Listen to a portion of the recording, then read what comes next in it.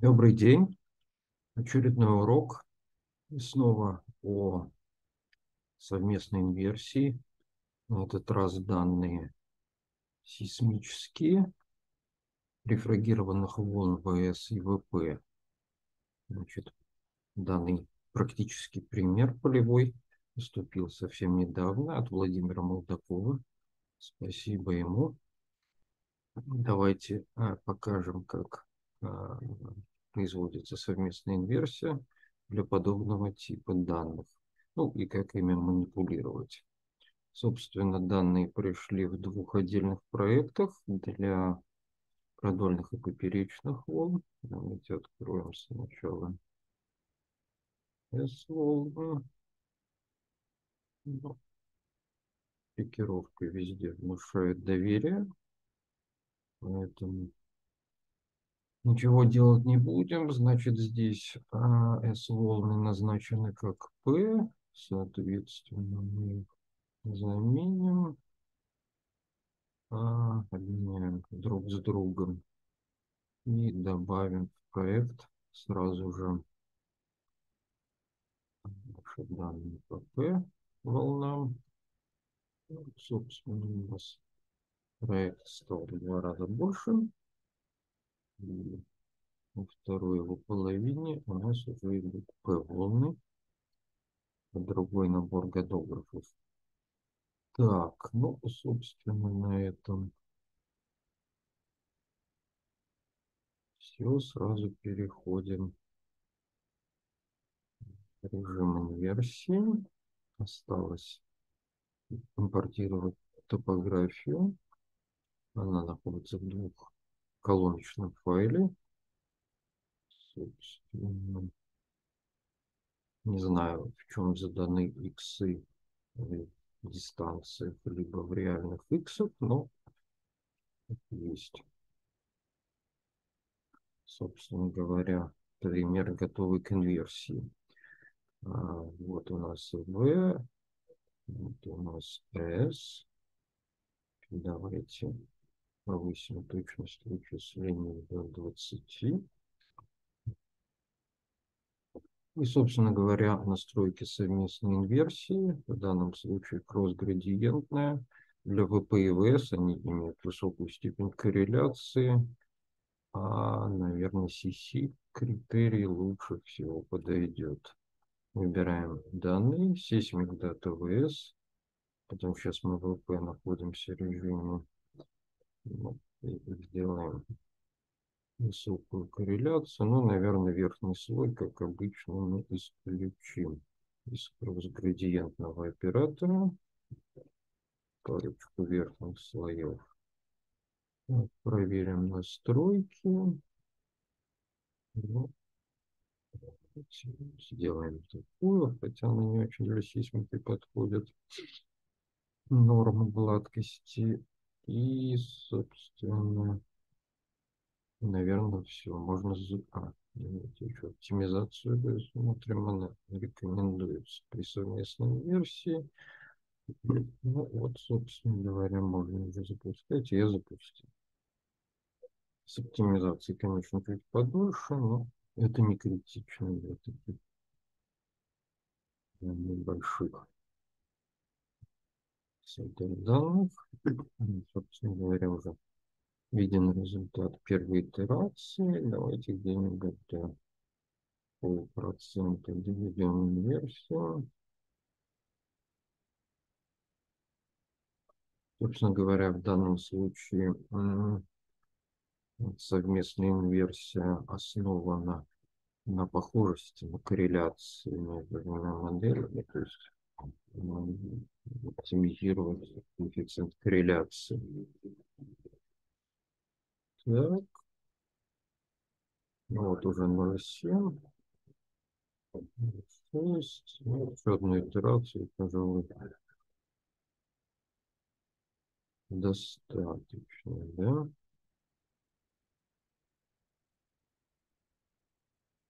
Дальше. А теперь давайте посмотрим, что у нас по ВС получилось. Ну, в общем, похоже, но уровнем ниже, конечно, скорости. Ну, похоже. Давайте совместно их посмотрим с коэффициентом. По сумме можно сразу. Вот, собственно говоря, разрез ВП, разрез ВС.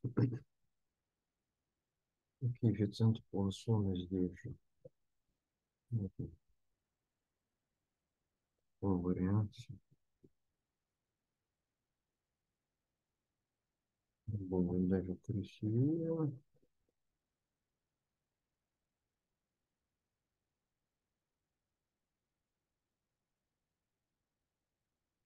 Ну вот, собственно, как это все у нас выдается в окончательном результате.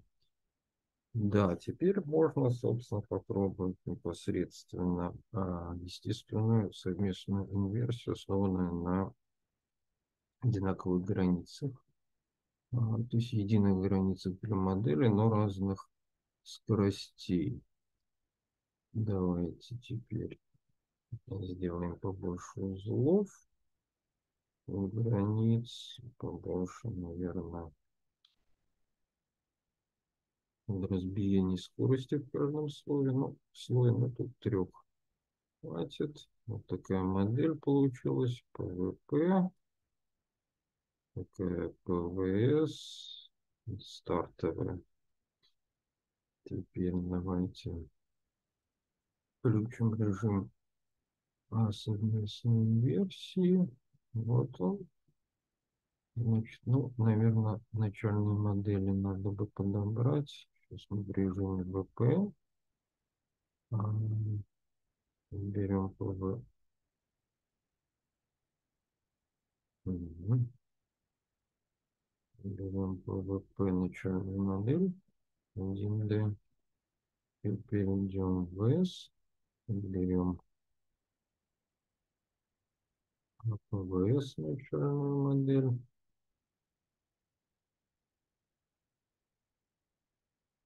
Ну и, собственно, вернемся в режим ВП. У нас сейчас отображается цветом. Цветом у нас отображается а, модель ВП, соответствующая этой цветовой шкалы, а цифрами отображается значение в узлах ВС.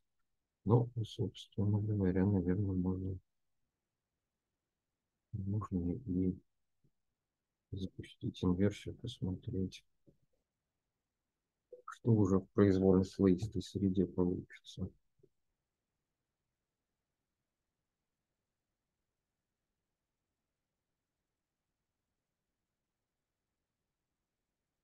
Конечно, не будем ждать полный цикл, но несколько итераций. Посмотрим.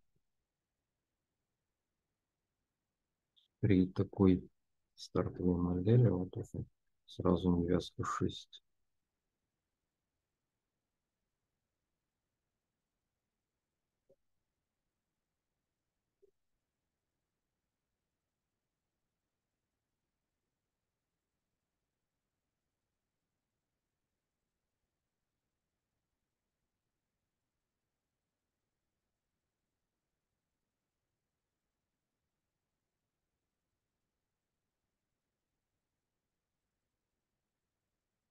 Ну вот у нас сразу после первой итерации невязка упала до двух. Ну, давайте еще одну подождем.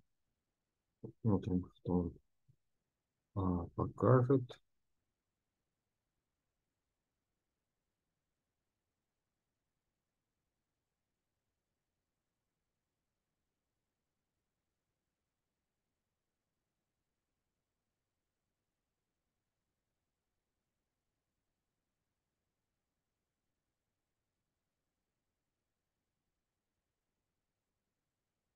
Вот уже один процент.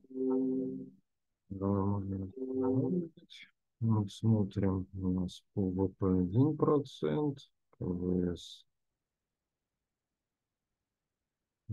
3. Ну, в целом очень неплохо. Давайте сделаем индивидуально. Ну, можно посмотреть, опять же, что в итоге Ну, вот такие результатики получились у слоистым моделям. Диапазон максимальная скорость для ВС где-то в три раза ниже. Спасибо за внимание. На этом все, наверное.